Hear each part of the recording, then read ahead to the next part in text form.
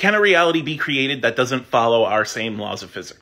Well, I hate to break it to you, but science doesn't have a whole lot of things to say about stuff that don't follow our laws of science. Because if it did, then it would follow our laws of science. All I can tell you is that based on the observations that we have right now, likely not.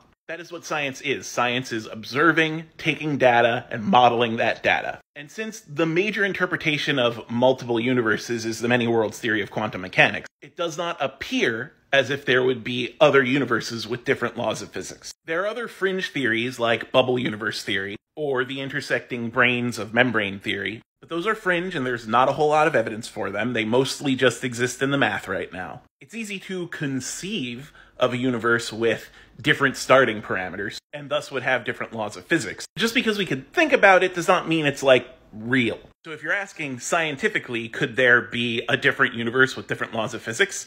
The answer is likely not, but for the most part, the answer is we don't know and we don't care. We're only concerned about what we observe. By the way, if you want any of these guys back here, check out the link in my bio.